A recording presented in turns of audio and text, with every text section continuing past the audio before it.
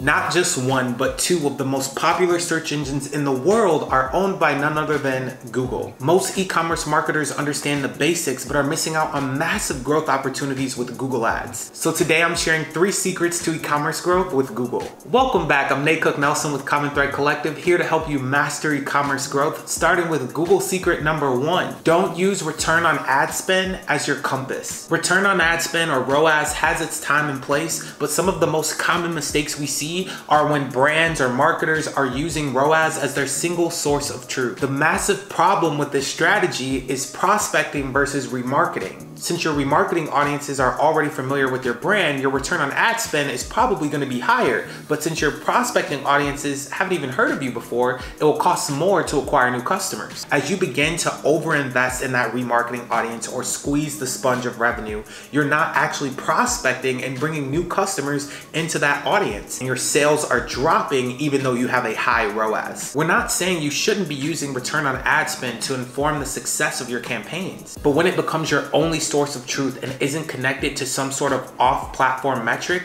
you begin to go down that dangerous path of the shrinking sponge. To be sure you're keeping the perfect balance between prospecting and remarketing on Google, it's important to use secret number two and allocate your spend for growth. Although Google is known as the most popular search engine in the world, we have to remember Google is more than search. There are a multitude of other placements beyond search available to us in Google Ads, from YouTube to display to shopping ads. A great place to start when thinking about allocating your spend for growth is what we call the search engine marketing order of operations. Since a picture is worth a thousand words, here's a visual that shows our recommended allocation of spend for each channel. We have branded search at less than 10% of spend to pick up that low hanging fruit but not overspend. We have Google Shopping at more than 60% of spend. We have non-branded search making up about 18% of spend. YouTube making up about 8% of spend focused on remarketing but could tap into prospecting as well. And smart display and discovery focused on about 4% of spend. This one's all about being omnipresent on multiple retargeting touchpoints. You see the importance of starting to allocate to non-branded search, YouTube, smart display and discovery, but why is Google Shopping such a big part of the funnel? Before I answer that, a bonus tip on future-proofing your business is tapping into the power of recurring revenue. With Yotpo, the sponsor of today's video, creating your own subscriptions is only a few clicks away. Yotpo subscriptions connects with your Shopify checkout to keep conversions high, provides a straightforward merchant experience, and gives your customers flexibility so they not only start, but stay subscribed. Launch subscriptions on your Shopify store in just eight minutes by searching Yotpo subscriptions on the Shopify App Store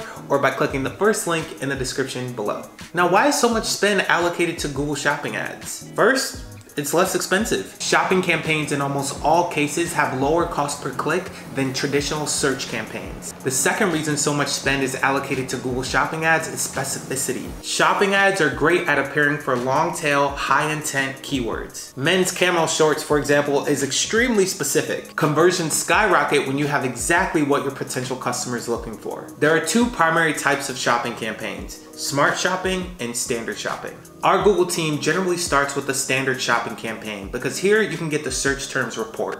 This gives us visibility into the actual search queries users are typing. They use the data from that report to optimize standard shopping ads, and then once that is dialed in, they'll run a smart shopping campaign and directly compare performance. As you begin to scale spend on Google Shopping ads, there are two important things to keep in mind. One, as you reach a larger audience, the percentage of people who are interested in what you're offering will get smaller. We won't dive into advertising efficiency in this video, but a great tool that's accessible in your Google ad account is the Performance Planner for shopping campaigns. Its aim is to illustrate this exact concept. How does the relationship between ad spend and profitability play out over different spend levels? The second thing is ensuring that you have clean, accurate, up-to-date product feeds. For instructions on setting up your Google Shopping ads and recommended data feed tools, check out the link in the description to our Google Shopping ads article. And if you're wondering what metrics you should be using in addition to return on ad spend, then check out the video here by Taylor Holiday, our CEO, on the true success metrics for e-commerce growth.